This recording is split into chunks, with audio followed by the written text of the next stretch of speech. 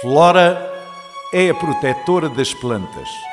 Consegue comunicar com as plantas e tem o poder de fazer crescer todas as plantas. O Capitão Mundo tem o poder da sensibilização ambiental. Tem o poder de semear ideias que protegem o mundo.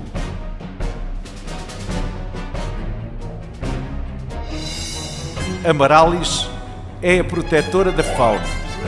Com a flor encantada, tem o poder de curar todos os seres vivos ao seu redor.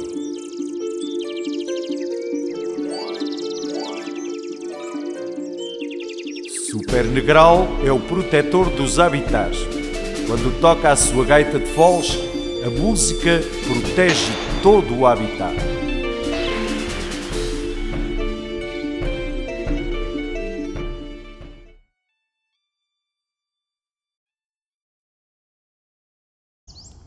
Sabias que nesta área protegida podes encontrar uma cobra com patas?